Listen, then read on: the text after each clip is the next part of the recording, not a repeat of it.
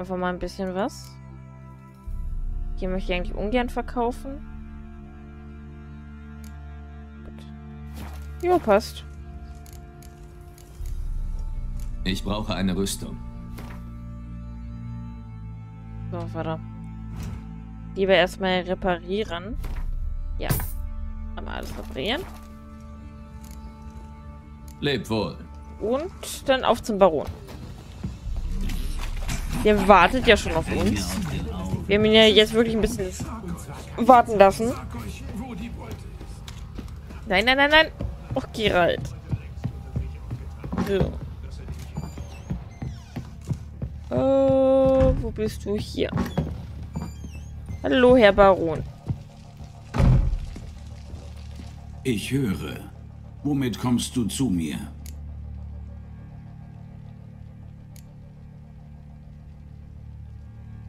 Ich habe Tamara dein Geschenk gegeben. Wie hat sie reagiert? Wohl nicht wunschgemäß. Sie hat die Puppe weggeworfen. Weggeworfen? Götter. Ich dachte, trotz allem... Oh. Hm, was ist mit Anna? Ich habe sie gefunden. Potz Pestilenz, warum sagst du das nicht gleich? Entschuldigung. Warum bringst du sie nicht mit? Sie ist im Buckelsumpf. Hat Essen, ein Dach über dem Kopf, Komplikationen. ist beschäftigt. Sah nicht so aus, als wollte sie von dort weggehen. Du solltest sie zurückbringen, nicht von ihren Lebensumständen berichten.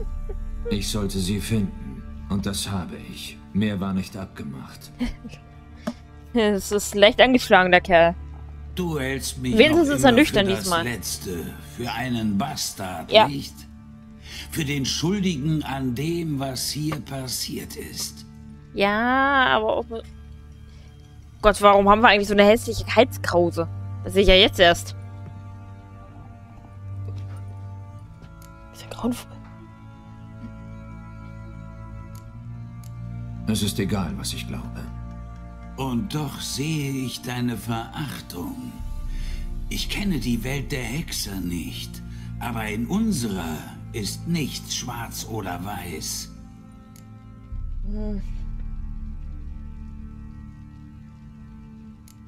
Du wirst wohl einwerfen, dass es nicht nur deine Schuld ist. Na gut. Ich höre mir deine Sicht der Dinge an.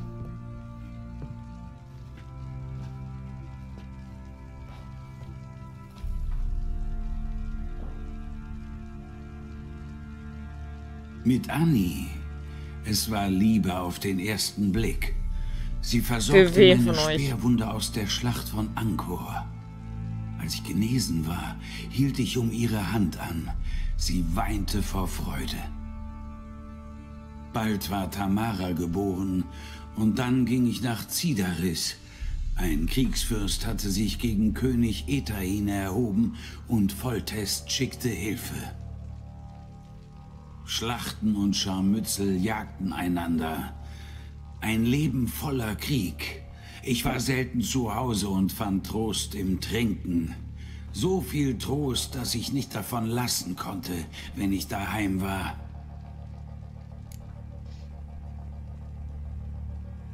Na schön. Und dann? Ich zog von Front zu Front, von Schlacht zu Schlacht, verdiente Sold. Und Anna saß allein mit dem Kind daheim. Vielmehr nicht allein, wie ich später erfuhr. Fast drei Jahre lang suchte sie Trost in den Armen eines Kindheitsfreundes namens Ivan. Oh, So ein Hundesohn. okay. Verdammt, verstehst du nicht? Ja gut. Einen Das ändert die Sachlage. Ja verziehen. Aber sie hat mich jahrelang betrogen. Hat sich einen Dreck um mich und meine Liebe geschert.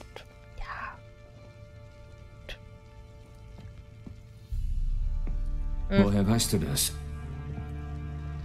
Eines Tages kam ich nach Hause. Da waren Anna und ihre Sachen weg. Ich fand einen Brief. Sie schrieb, sie liebe mich nicht mehr und zöge mit Tamara zu diesem Wichser. Okay. Ich dachte, mir tritt ein Pferd in den Arsch. Ich zog los, um den Scheißkerl zu finden und sie wieder nach Hause zu holen. Aber als ich ihn sah, erwachte etwas Finsteres in mir. Ich schlachtete den Drecksack ab und warf ihn den Hunden zum Gut, das ist vielleicht aber auch nicht ganz die feine Art.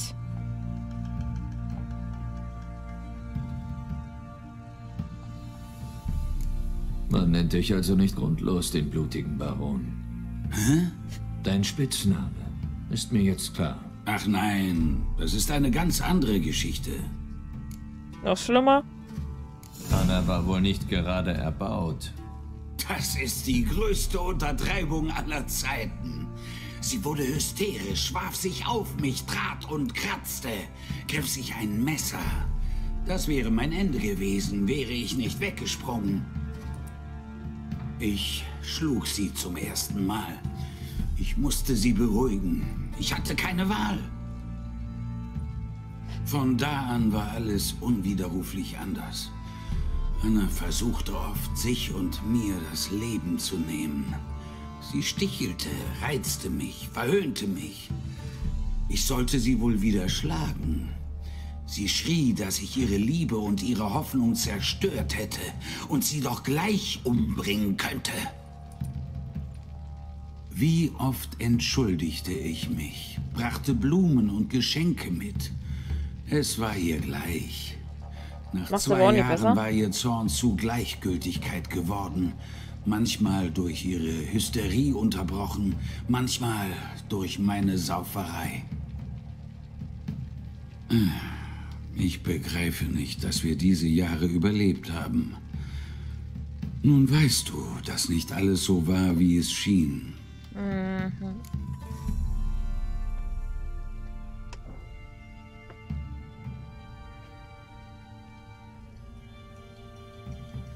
Du hattest recht. Ihr seid beide schuld an der Lage. Wie gut, dass du das endlich siehst.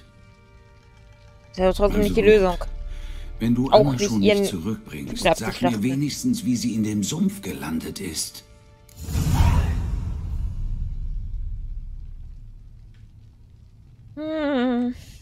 Sie hat mit den Mumen einen Pakt geschlossen und... Nun, sie hat wohl den Verstand verloren. Einen Pakt? Das kann man so sagen. Was zum Teufel? Sie war schwanger und wollte das Kind nicht kriegen. Sie ging zu den Mumen und die versprachen, das Problem zu lösen. Gegen ein Jahr Dienst. Und die Mumen haben auf ihre verschrobene Art Wort gehalten. Ja, nur dass aus einem Jahr ein bisschen Was länger wurde wahrscheinlich. Du damit? Anna hat wohl gedacht, das Kind würde irgendwie einfach verschwinden. Aber die Mumen schwächten sie so sehr, dass sie eine Fehlgeburt hatte. Und da begann sie wohl den Verstand zu verlieren. Sie legten sie an eine magische Leine, die Schmerzen bewirken kann, damit sie ihre Schuld auch ja begleicht. Ein Pakt mit Hexen, verdammter Albtraum, du scherzt wohl. Wir müssen sie retten. Wir können sie nicht dort lassen. Junge, Alter, die will nichts von dir. mein Gott, lass du doch da. Damit tust du ja auch keinen Gefallen. Auch mit Bewaffneten ist es ein schlechter Einfall, in den Sumpf zu ziehen. Es ist an sich schon gefährlich dort. Und diese Mumen sind mächtiger, als man denkt. Ja, Bullshit. Ich dreh doch nicht Däumchen, bis sie sie rausrücken. Würdest du auf ihre Gnade zählen, wenn sie deine Tochter hätten? Wohl nicht. Aber ich bin ein Hexer. Ja gut, und Tamara... ich bin ein Ehemann und Vater, der sein der Leben und das seiner Lieben versaut hat. Ich sammle meine Männer und hole Anna da raus.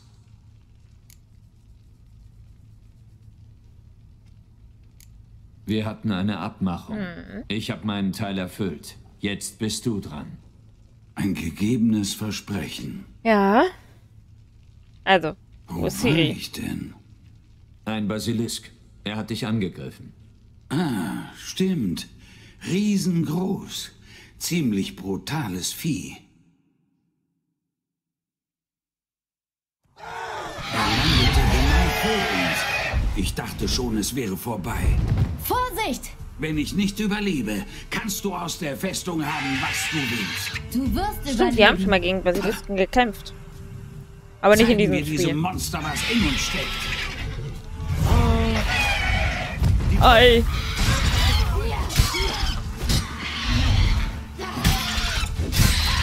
Habe ich mal erwähnt, dass ich es liebe, mit Siri zu spielen? Ich hoffe, dass das noch öfters der Fall sein wird.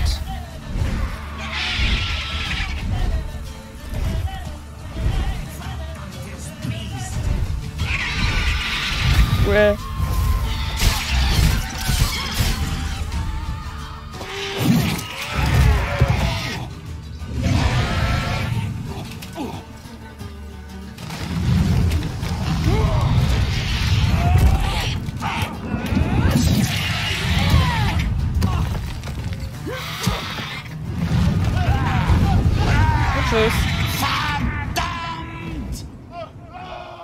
Rein kann er gut.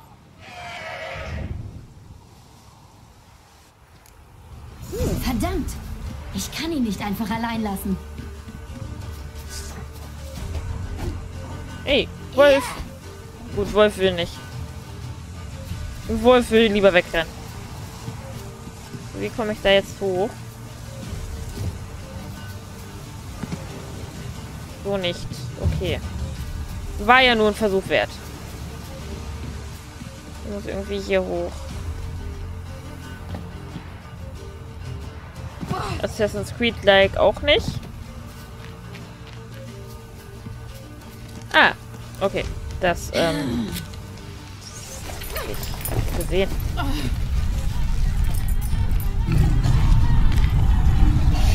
Ich finde es bewundernswert, dass sie mit den Absätzen immer noch laufen kann. Das ist ja nur Stiefel mit Absätzen, aber dennoch.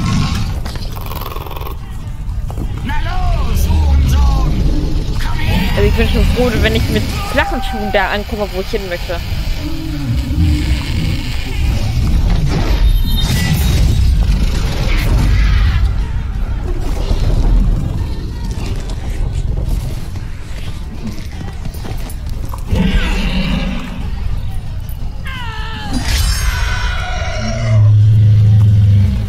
Das arme Vieh. Wollte doch nur ein Mittagessen haben.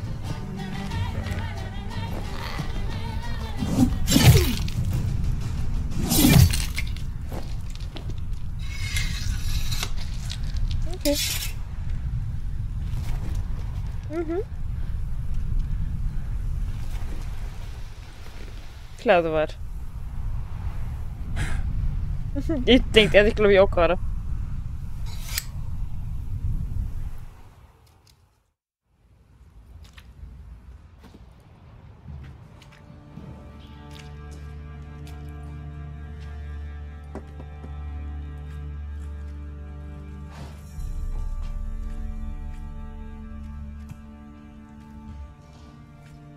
Hast du alles? Ja, vielen Dank.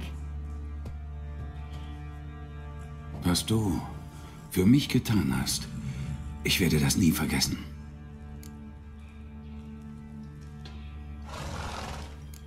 Du hast mir auch geholfen. Als mich deine Männer hergebracht haben, hast du mir Essen gegeben und meine Wunden versorgt. Jetzt sind wir quitt. Du musst nicht gehen. Du bist hier in guter Gesellschaft. Wir haben immer ein warmes Plätzchen für dich. Ich muss los. Ich werde von Geistern verfolgt. Von der wilden Jagd. Es war dumm, die Macht anzuwenden.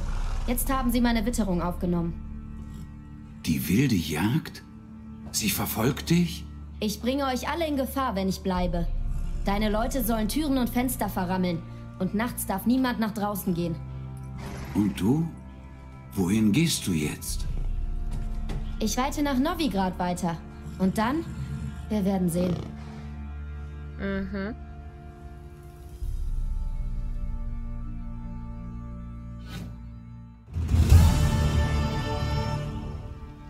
Sie stieg aufs Pferd und ritt davon. Ohne sie war es hier ganz schön einsam.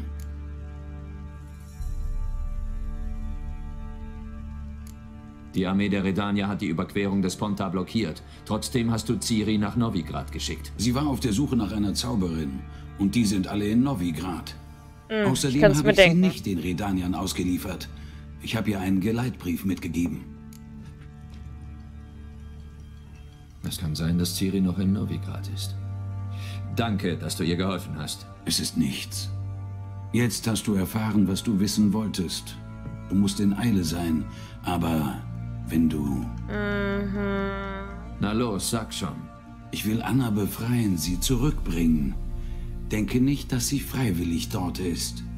Du hast wohl nicht zugehört. Wollte ich grad sagen. Jede Reise in den Sumpf ist Selbstmord. Ich weiß. Genau darum könnte ich deine Hilfe gebrauchen. Ja, aber sie möchte doch Ich kann wahrscheinlich dir gar keine nicht zurück. neuen Geschichten zu Ciri anbieten. Aber komm mit mir und ich werde großzügig sein. Ja, aber die möchte Sehr wahrscheinlich gar nicht. Ich meine, die wurde von dir weg. Ein paar Münzen extra schaden nie. Der dumm die Da Münzen. hast du allerdings recht. Ich versammle meine Männer bei Niederwirr.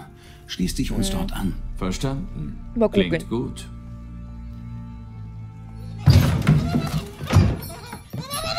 Was ist das?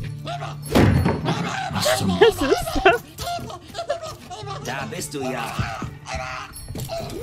Wieder entkommen. Oh, Entschuldigung, sind schon wieder weg. Ist der Hofner oder was? Was war das? Sag du's mir. Mensch oder Monster? Der Mensch glaube ich ja weniger. Meine Männer nennen ihn Uma, halten ihn für ein Monster. Doch für mich ist er ein Mensch, so verschlagen wie Ardal. Uma? Seltsamer Name. Ja, seltsam, aber er hat uns keinen anderen genannt. Du meinst, er kann sprechen? Er nicht. Es war so, ich fragte ihn nach seinem Namen. Er saß da, sagte kein Wort und versuchte sich einen Zeh in die Nase zu stecken. Also nahm ich seine Hand, blickte ihm in die Augen und fragte, wie heißt du? Er grinste mich töricht an und stammelte, Oh, Uma? So kam er zu dem Namen. Sieht nicht wie ein Monster aus, aber mein Medaillon vibriert. Seltsam. Wo habt ihr ihn gefunden? Eine lustige Geschichte. Hab ihn beim Kartenspielen gewonnen.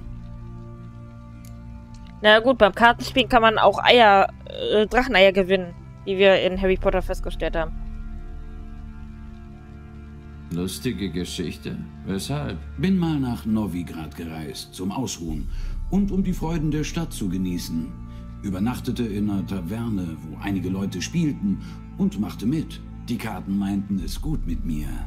Hatte eine teuflische Hand nach der nächsten, nahm die Idioten aus. Ein Händler hatte besonders viel Pech. Hatte alles verspielt, was er von Skellige mitgebracht hatte. Wollte unbedingt noch eine Runde spielen und ich stimmte zu. Ich fragte ihn, welchen Einsatz er setzen würde und er zeigte mir diesen Tropf. Für mich war nicht viel drin, aber ich dachte, scheiß drauf, gib dem Mann die Chance, was zurückzugewinnen. Er hatte kein Glück und Uma landete auf Krähenfels. Ende der Geschichte.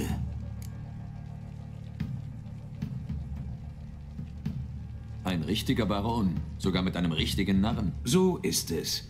Aber ich habe das Gefühl, dass mit ihm was nicht stimmt. Warum denn?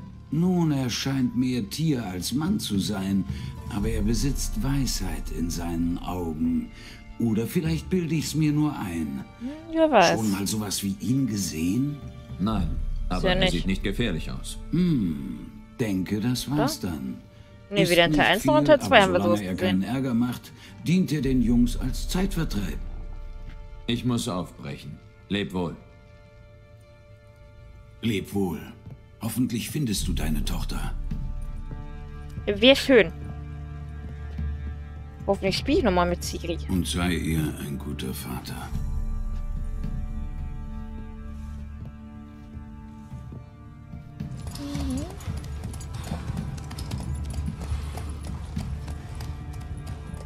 Er reitet von dannen. So. Ja. Haben wir denn als nächstes an Quests? Eine sehr gute Frage. Äh, nee, nach Skellige will ich noch nicht. Alles, aber noch nicht nach Skellige. Äh, besuche Triss in ihrem Haus. Ja, ja. Ja gut, wir könnten Triss machen.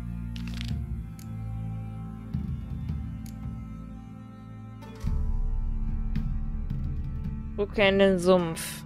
Wäre jetzt als Nebenquest.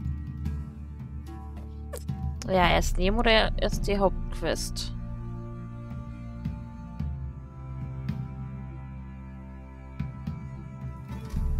Ich würde aber schon Triss gerne wiedersehen.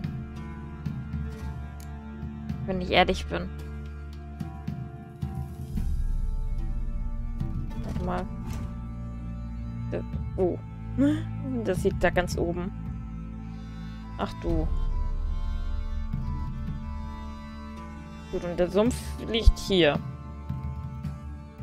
Bei ganz verschiedenen Richtungen. Hm. Ich denke mal, aus Novigrad kommen wir ja auch immer wieder raus.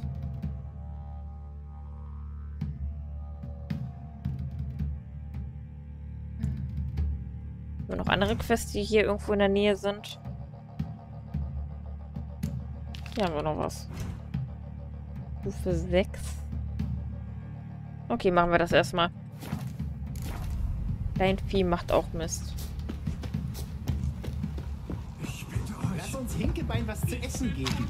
Der würde bestimmt sogar seinen eigenen Ja, wunderbarer Name. Hinkebein. Bärtchen? Vom Schmied. Hallo, Plötze. Schneller. Hürhot. Hürhot, mein Pferdchen. Gehen wir zusammen zum?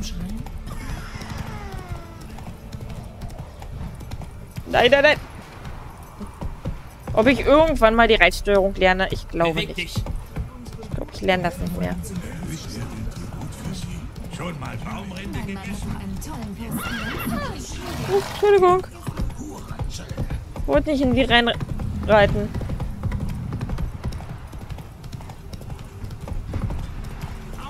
Oh, warte mal. Weiter so, Plätze. Weiß ich wieder, was ich übersehen hatte. Welch, wer bist du denn? Halt! Zum Zweikampf! Ich fordere dich heraus. Das. Sind dir vielleicht die Stiefel zu groß? Vorsicht, nicht stolpern. Halt, sag ich! Ich bin Ronwied von Sümpfle, gebunden durch einen heiligen Eid. Oh, das ist hart. Mein Beileid. Der Jungfer Heidelbeer Ehre zu erweisen, der schönsten aller mir bekannten Jungfern, indem ich 100 Ritter im Duell besiege. Wer hat dem auf den Kopf gehauen? Gezogen. Nach dir kommen noch 99 weitere.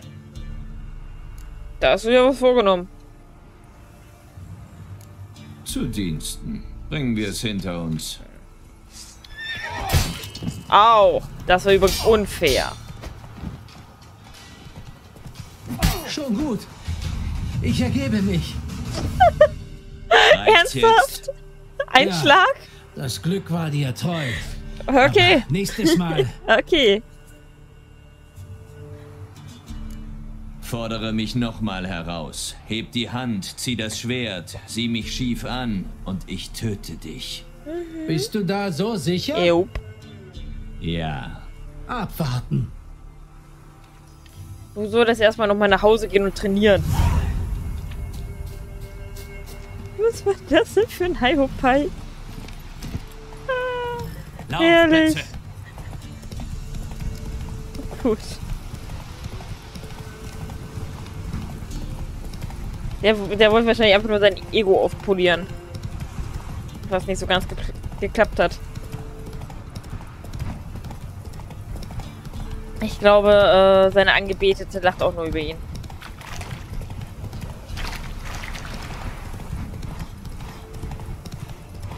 So. Wir sind jetzt zum Glück gleich da.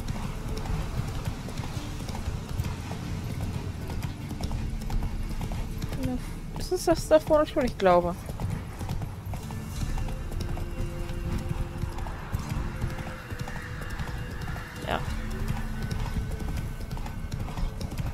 Eine ganz schöne Einöde hier. Da möchte ich aber nicht wohnen.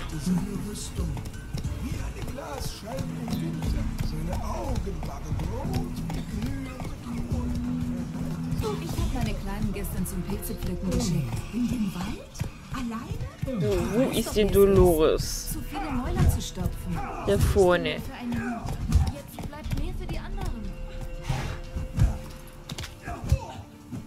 Tachchen. Worum geht's denn? Was soll aus mir werden auf meine alten Tage? Ein Bauernrüpel verwehrt mir ein Dach über dem Kopf. Ich bin die Tochter eines Edelmannes. Mein Bruder und ich, wir haben das Herrenhaus jahrelang verwaltet. Was ist mit ihm passiert? Eines Tages kam ein Reisender, ein Jäger. Äh, Wir haben uns verliebt und kurz darauf geheiratet. Wir wollten das Herrenhaus verlassen. Mein Bruder war beleidigt und hat mich nicht mal verabschiedet. Jahre später kam ich zurück, habe ihn aber nicht gefunden. Die Leute sagen, Monster hätten sich in unserem Haus eingenistet. Ich könnte mich um die Monster kümmern. Hm, du bist ein Hexer, richtig? Kein normaler Mensch würde das tun. Keine Sorge, für mich sind alle gleich, solange sie ehrlich sind. Das Haus liegt östlich von hier. Nimm den Schlüssel. Wenn du die Bestien vertrieben hast, such nach einer Truhe.